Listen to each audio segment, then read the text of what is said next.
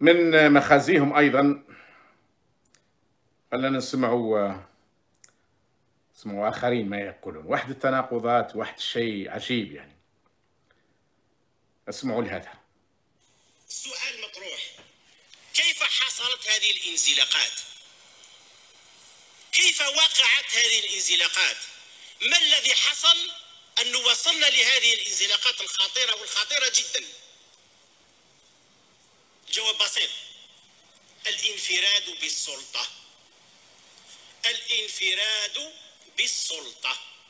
كان هنالك من كان يعتقد أن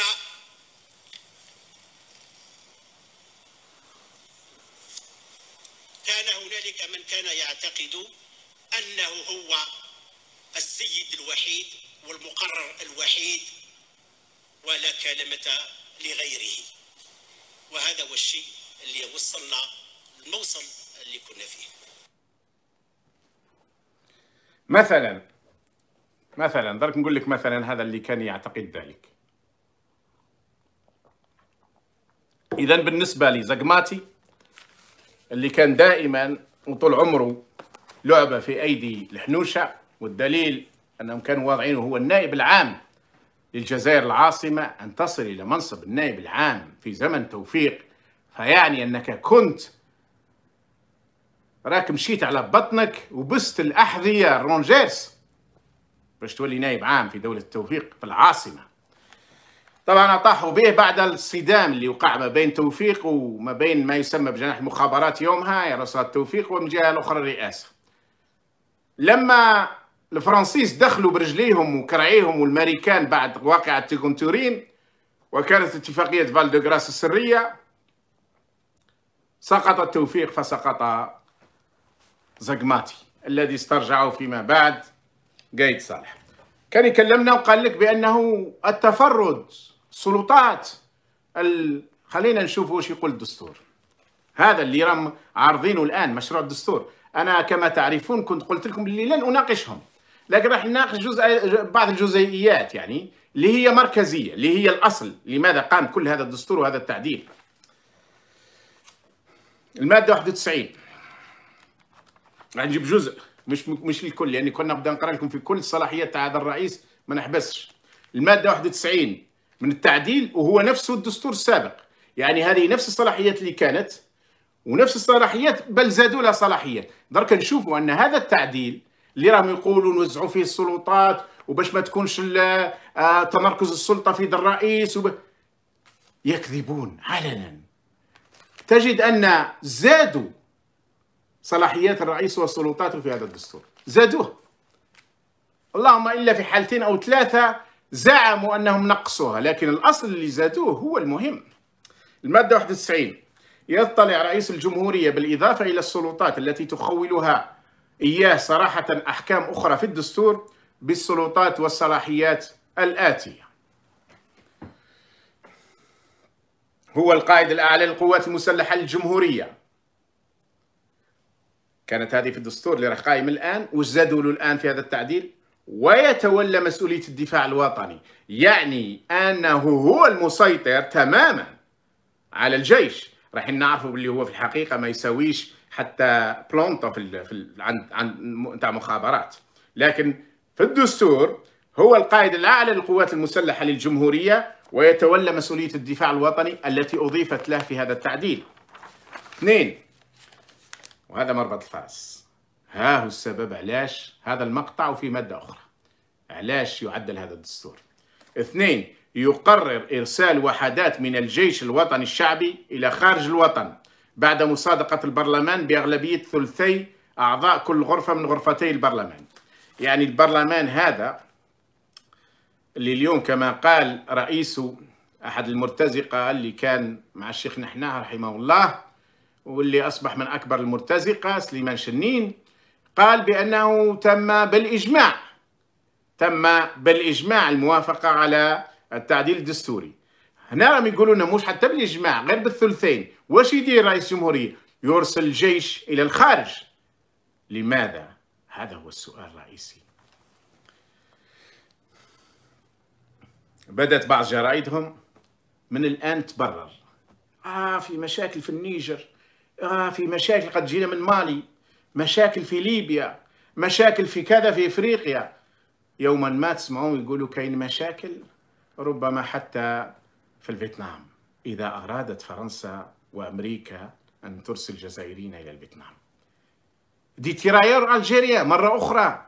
نعيش ويتكرر الاستعمار بالمستوطنين الجدد. يعني بأبناء البلاد سيتم استعمال الجيش الجزائري كما استعملت فرنسا لمدة 130 سنة الجزائريين للقتال من أجل مصالحها. وكانوا يسموهم في البداية les turcos ثم أصبحت التسمية الأشهر les tirailleurs algériens. وأنصح الباحثين والمهتمين أن يكتبوا هذه التسميتين سواء les turcos أو les tirailleurs algériens أو يكتبوا حتى les zouaves. لأن les zouaves كانوا ما بين 1800 ونهاية 1801 آه، ما بين 1831 و 1843 بينما بدأوا les tirailleurs algériens اللي يسمون أيضا les turcos من 1843 فما فوق. حتى استعادها الرجال والنساء استعادوا الأرض. هاي المادة الرئيسية لهذا التعديل. لكنها دخلوها في صلاحيات الرئيس يعني. زادوها يعني. ماذا أيضا؟ يقرر الرئيس يقرر السياسة الخارجية للأمة ويوجهها.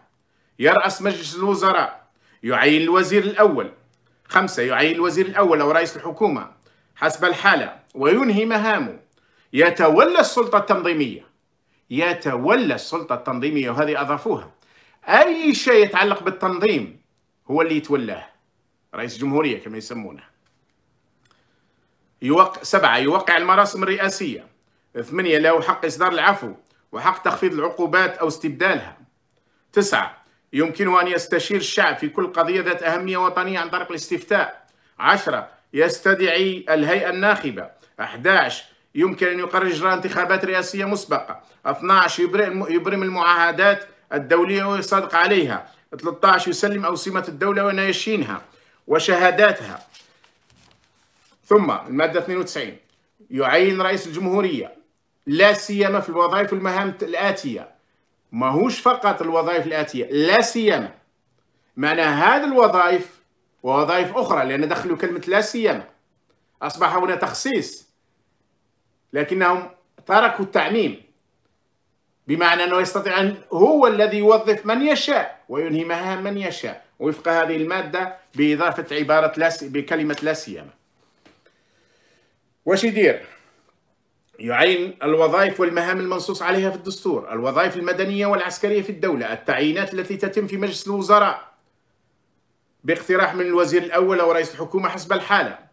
الرئيس الأول للمحكمة العليا. رئيس مجلس الدولة الأمين العام للحكومة محافظ بنك الجزائر القضاة مسؤولي أجهزة الأمن الولاة الأعضاء المسيرين للسلطات الضبط. هذه ثانية أضافوها له يعين رئيس الجمهورية سفراء الجزائر سفراء الجمهورية والمبعوثون فوق العادة إلى الخارج وينهي مهامهم.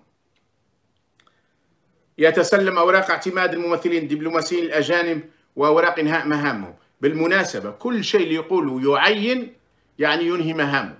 لأن كينوم كان قاعدة تسمى كينوم ديمي. الذي يعين ينهي أو يقيل à la fonction.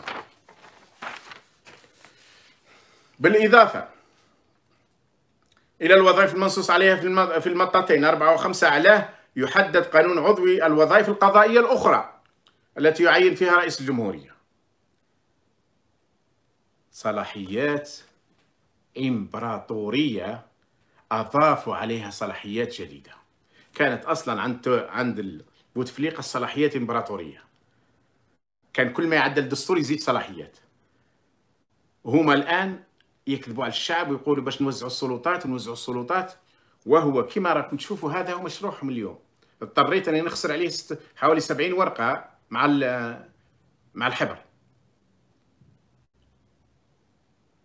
وهو لا يساوي الحبر الذي كتب به أو اللي خسرت عليه اليوم. صلاحيات إمبراطورية. أضيفت لها صلاحيات إضافية. ومش هذه فقط. مازال كاين قائمة من الصلاحيات الأخرى. خلينا نعطيكم منها اثنين ولا ثلاثة باش ما نطولش. المادة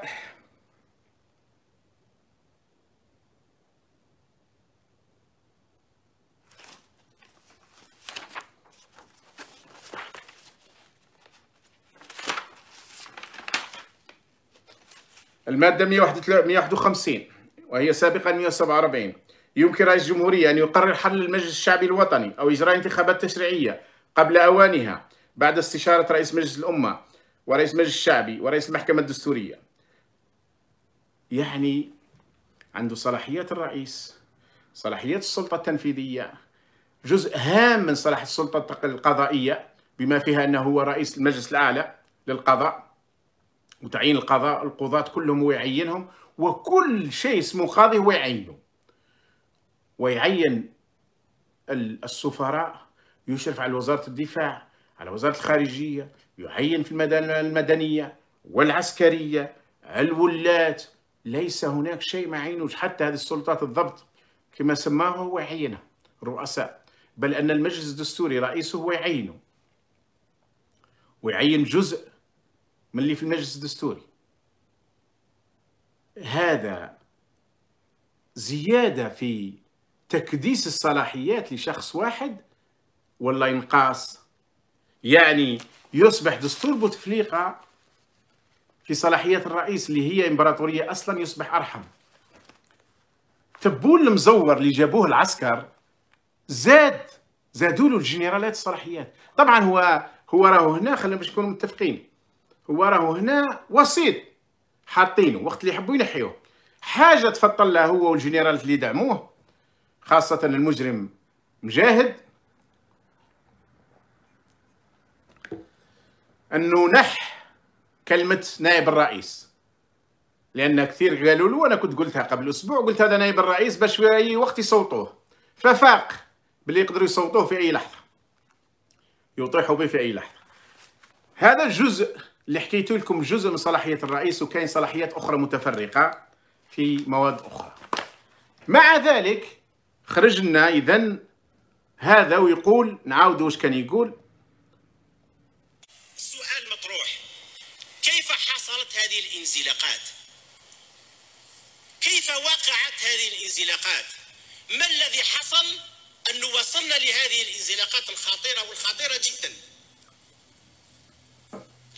بسيط الانفراد بالسلطة.